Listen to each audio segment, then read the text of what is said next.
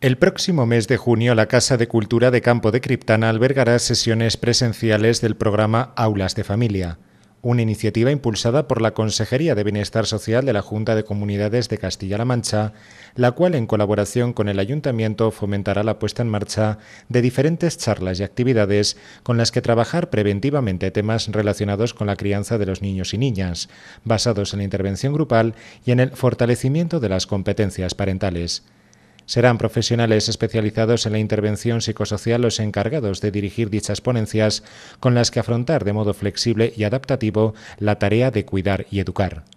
De esta manera, los martes 1, 8, 15 y 22 de junio, a partir de las 10 de la mañana y con charlas aproximadas de hora y media de duración, se tratarán temas como la comunicación familiar y las ideas y factores para favorecerla, el uso y la supervisión de las nuevas tecnologías, la autoestima y asertividad como habilidades para transmitirlas a los hijos y la inteligencia emocional y cómo gestionarla